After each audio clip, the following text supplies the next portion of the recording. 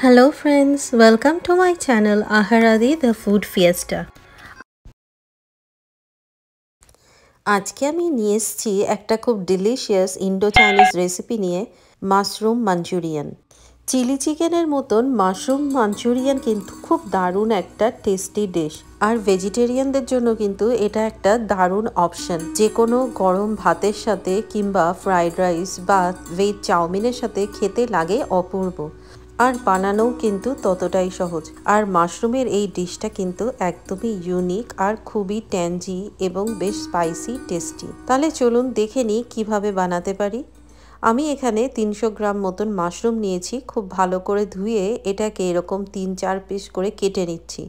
যেহেতু মাশরুমটা একটু বড় ছিল, তাই কোনোটা আমি দুটো পিস বা কোনোটা তিনটে পিস করে নিয়েছি। তারপর গরম জলের মধ্যে রেখে দিয়েছি। মাশরুমটাকে কোট করার জন্য আমি একটা ব্যাটার বানিয়ে নিচ্ছি। আমি এখানে নিয়েছি এক কাপ ময়দা, হাফ কাপ কর্নফ্লাওয়ার, এক চামচ আদা বাটা, অল্প একটু নুন। এই সব জিনিসগুলো মিশিয়ে তারপর অল্প অল্প করে জল দিয়ে একটা থিক ব্যাটার বা একটু ঘন ব্যাটার বানিয়ে নিচ্ছি।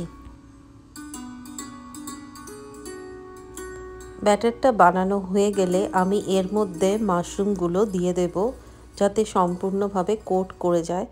আমি এটাকে ভালো করে উল্টে পাল্টে যাতে পুরো মাশরুমের গায়ে ব্যাটারটা লাগে সেইভাবে মিশিয়ে নিচ্ছি।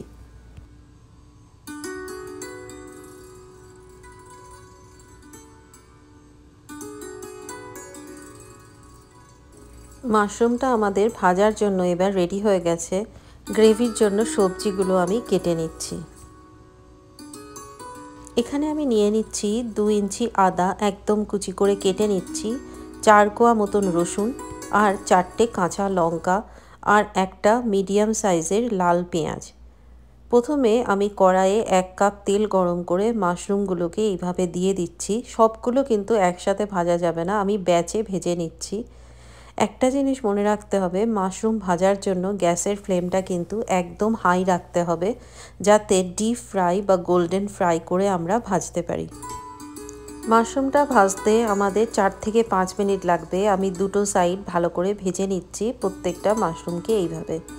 মাশরুমগুলো ভাজা হয়ে গেছে, আমি এবার এগুলোকে তুলে নিচ্ছি আলাদা আলাদা করে।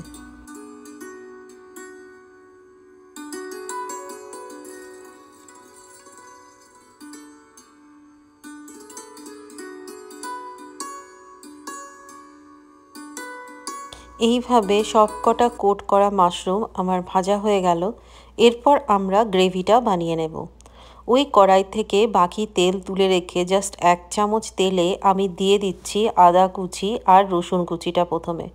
এগুলো দিয়ে আমি নাড়াচাড়া করে তারপর অ্যাড করে দিচ্ছি লঙ্কা কুচি আর পেঁয়াজ কুচিগুলো।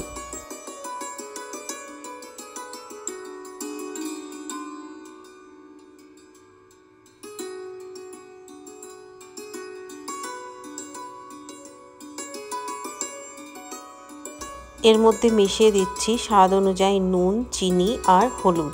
আমি এখানে হাফ চামচ নুন আর হাফ চামচ চিনি অ্যাড করে তারপর মিশিয়ে দেব এক চামচ সয়া সস এক চামচ চিলি সস আর দু চামচ টমেটো কেচাপ এই সব সসগুলো দিয়ে আমি ভালো করে নাড়াচাড়া করে নিচ্ছি প্রায় দু থেকে তিন মিনিট যাতে মশলাগুলো একসাথে মিশে যায় সসের সাথে।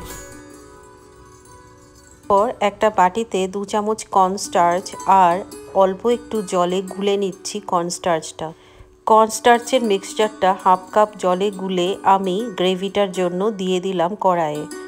তারপর এটা দেওয়ার সাথে সাথেই কিন্তু থিক হতে আরম্ভ করবে। আমি ভালো করে নেড়ে চেড়ে প্রায় দু তিন মিনিট নাড়াচাড়া করে তারপর অ্যাড করে দিচ্ছি ভাজা মাশরুমটা মাশরুমটা দিয়ে নাড়াচাড়া করতে করতে আমি আবার একটু দু চামচ মতন জল অ্যাড করে দিচ্ছি।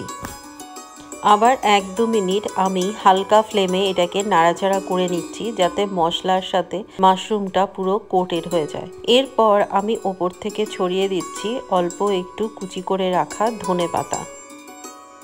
আলতোভাবে এটাকে একটু নাড়াচাড়া করে দিলাম। ব্যাস, গরম গরম আপনারা এই মাশরুম মাঞ্চুরিয়ান কিন্তু গরম ভাত বা চাউমিনের সাথে সার্ভ করে দিন। যদি আপনাদের এই মাশরুম মাঞ্চুরিয়ানের রেসিপি ভালো লেগে থাকে, আমার চ্যানেলকে লাইক শেয়ার সাবস্ক্রাইব আর কমেন্টস করতে ভুলবেন না। Thanks for watching